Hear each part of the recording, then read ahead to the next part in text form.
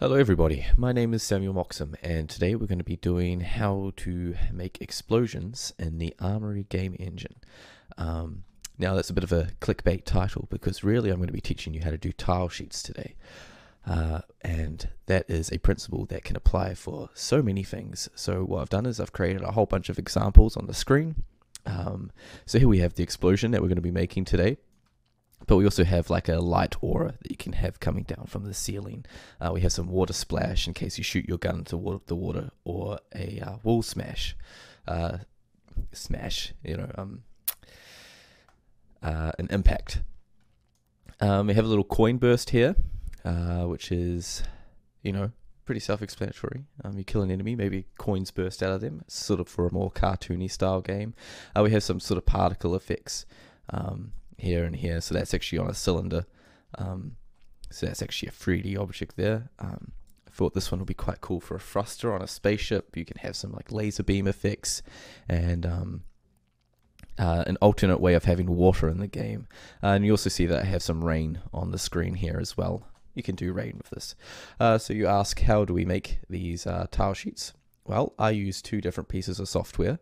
Um, the first being BlastFX, which is a uh, piece of software that you can get off Steam. I think it's $25. Uh, and you enter in shapes, and it pretty much makes a particle system and then outputs a sprite sheet. And the other one I use is Timeline Effects, which is available uh, online. Uh, you'll have to search for their website, and I believe that is uh, 60 New Zealand dollars because I'm from New Zealand. Uh, I believe it's just under 30 euros. Um, so all the examples I'm using today is just from the default library in Timeline Effects, so nothing too special. Um, as you can see, there's a huge variety of things that you can do. Uh, quite a few really cool ones that you can sort of tweak and uh, make them your own and then add them to your game. If you want to have uh, play around with some sprite sheets that are already readily available. Uh, if you head over to the Armory 3D GitHub page, they have a whole heap of examples, and one of those examples is in a folder uh, called tile sheets, and then there's a tilesheet.blend, and this has a 8-bit example of tile sheets in action, uh, as you can see, with uh, these characters that look amazing. Uh, so if you want to have a play around, use this. Cool, so this is just a default Blender scene. We're going to delete the default cube and we're going to add a plane. We're going to come over to the materials tab over here. We're going to create new, and I'm just going to call this explosion. We're going to change it from the uh, principled BSDF to the Armory PBR. And then we're going to come down here and we're going to change the billboard to spherical. So that means it's always going to face the camera. And if we drop down this tab called Armory Tile Sheet, this is where the magic happens. So we're going to add a new one and we're going to call it explosion. And then we're going to create an action, which is called explosion. So in one tile sheet, you can have more than one action. Um, cool. So that's all in place now. Uh, let's go to our shader editor and add in our tile sheet. So I'm just going to hit Shift A and search in for image and here it is here. So we're going to add that in uh, and hook it up to our material and I'm just going to change over to here to viewport shading and it's going to look something like this. So next thing we need to do is we need to get the UV sorted. So I just hit U, unwrap, and we're going to change over here to the UV editor. And uh, what we're going to do is we're going to count the amount of uh, tiles in this sprite sheet. So one, two, three, four, five, six, seven, eight. So it's eight across. And it looks like it is one, two, three, four, five, six, seven, eight down. So over here, back in our material tab, we're going to go tiles x8, tiles y8. Frame rate is uh, 4 is a bit slow. Uh, usually uh, it varies, so usually 6, 8, or 10 I usually use. And we're going to have our start frame at 0 which is this one here, and it's going to end at 8 times 8, which is 30. Oh, sorry. I did 8 times 4, uh, so it's 64. Um, cool. And the next thing we need to do is we need to do 1 divided by 8 to get the size of a single tile, which is 0.125, I think. Ooh. I'm just going to hit UV constraint to image bounds, and that means we can just tuck it perfectly in the corner there. Excellent. So that is the tile sheet spread up. We now have to tell the game to run the, sparse, the sprite sheet, the tile, the tile sheet. Uh, so we're going to come over here to logic editor. I'm going to create a new one. I'm just going to call it explosion. We're going to go shift A search, and we're just going to type in init, and it's going to give us an on init node.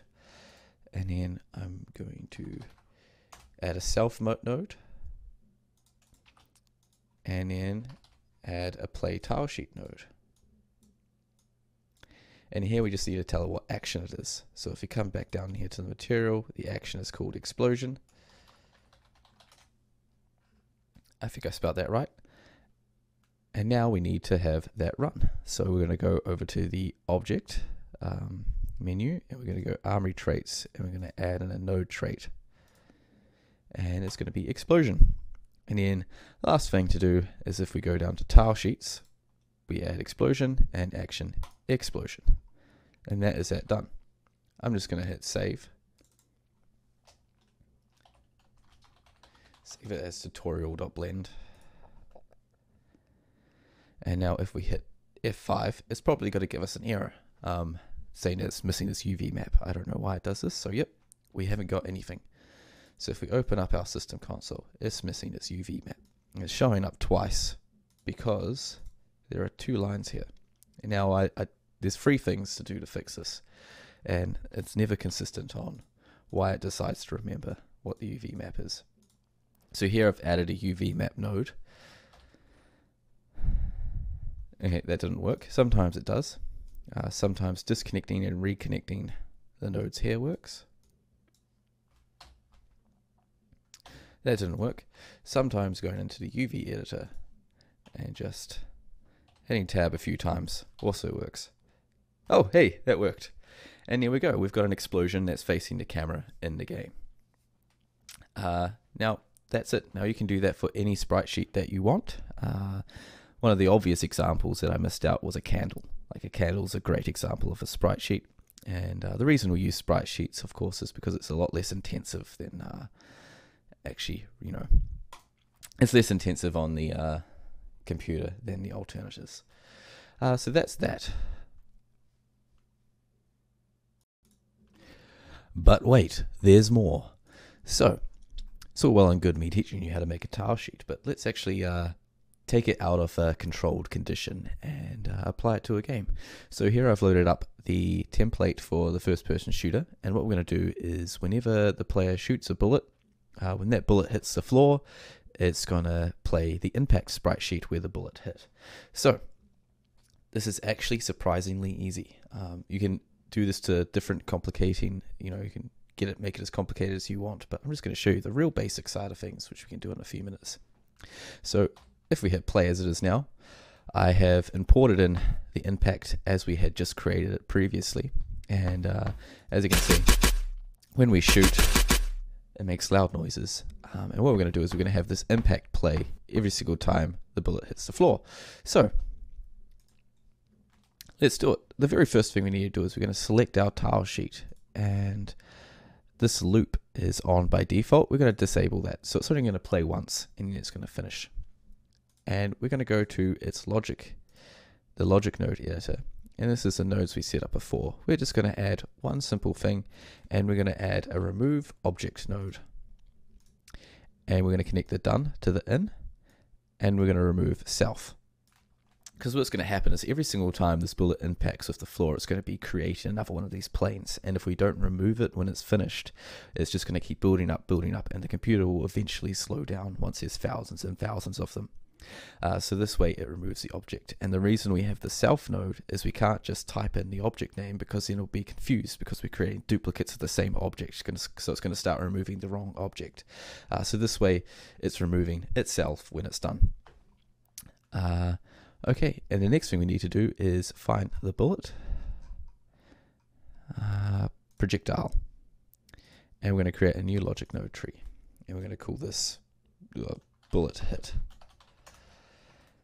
And we're just going to connect that up in the armory traits under the object, bullet hit.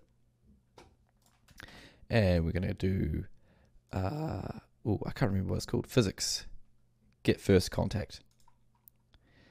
And we're going to add a self. So now whenever the projectile hits something, it's going to output the object that it's hit. Spawn. I can't, I, I forgot how to do this. But we're going to spawn in the plane, which is our impact. Uh, on contact, that's the one. So, now what's happening is it's going to look for when the projectile has hit something, it's created a contact and it's going to send a pulse through to the spawn object and it's going to spawn our plane. Uh, and now we need to tell the plane where to go. So we're going to add, uh, we're going to just search and transform. And we're going to add the transform. And what we're going to do is we only want the location. So we're then going to get location.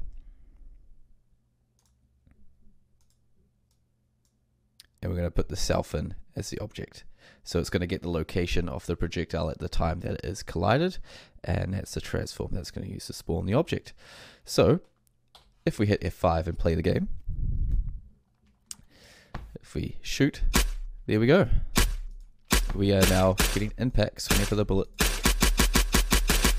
hits the floor. Uh, I really hope you enjoyed uh, listening to this tutorial and it has been informative to you and that you can make good use of it. Uh, go nuts, have lots of fun. Sprite sheets are amazing. Uh, very easy way to add visual effects. So yeah, thank you very much. See ya.